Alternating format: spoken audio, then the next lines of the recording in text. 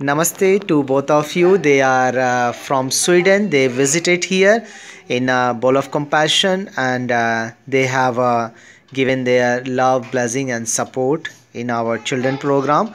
Please share your feedback why people should to come to here.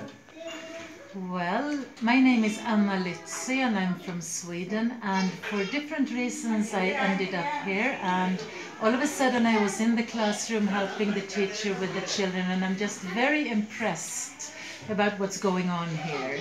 It's driven by heart and love and compassion as the name suggests and meeting the children I couldn't really find the words because they just left. I just met them and I'm very moved by meeting the children.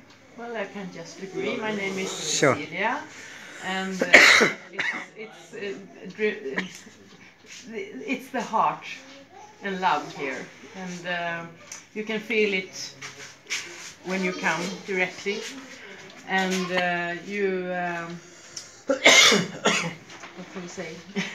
I don't have the words. We don't have the words because, the we are so children are, touched. We are so touched. The children are still sitting on our laps. Yeah. They just left. Yeah, and they were s- working so hard and doing so well. All these fantastic children that we just met. Thank, Thank you, you. thank you, and uh, near future again we will like to visit you. Thank you, thank you very much. Thank you. Thank you.